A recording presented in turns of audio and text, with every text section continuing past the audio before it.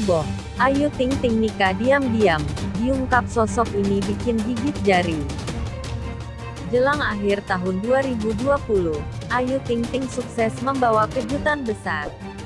Lama sendiri, Ayu dikabarkan bakal segera nikah.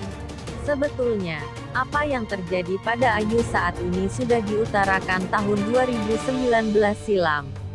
Sosok tersebut juga ungkap adanya pernikahan diam-diam. Sesuai dengan harapannya, Ayu jalin hubungan spesial dengan seorang pria yang bukan dari kalangan artis. Pria beruntung tersebut ialah Adit Pradana Jayusman. Duda kaya yang juga memiliki satu putri cantik ini sudah muncul di tengah keluarga Ayu.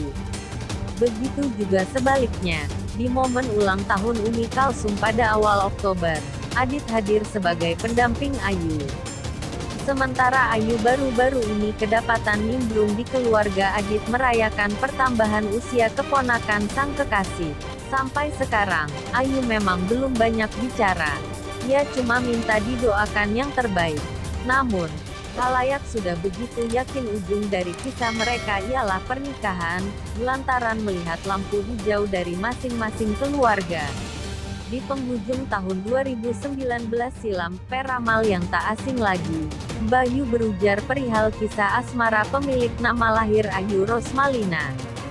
Salah satu kabar bahagia yang diungkap peramal, Bayu adalah pernikahan Ayu Ting Ting. Ramalan tersebut tayang di kanal YouTube Trans TV Official pada tanggal 24 November tahun 2019.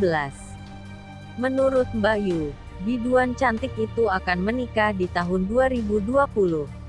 Meski di tahun 2019 ini bertemu dengan seorang pria, Ayu tetap akan melangsungkan pernikahan di tahun 2020. Ayu Ting Ting tahun ini bisa ketemu laki-laki tapi untuk menikah belum di tahun 2019 ini. Ucap Bayu dalam video berjudul, INSERT.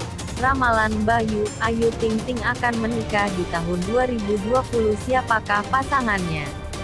Tanggal 24 November tahun 19. Lebih lanjut, Bayu ungkap hal mengejutkan. Pernikahan Ayu akan dilaksanakan secara diam-diam.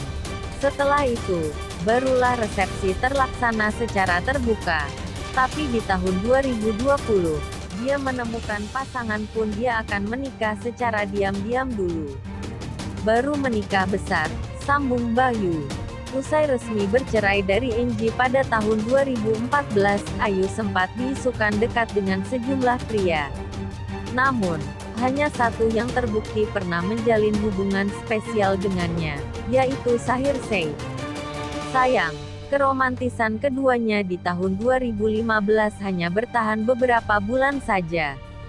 Kini, sesuai ramalan Bayu, Ayu telah menemukan seorang pria dan jatuhkan hati padanya. Asmara di antara mereka begitu kuat. Terlihat saat Adit genggam erat tangan Ayu tatkala bergegas ke mobil usai menemani Ayu syuting.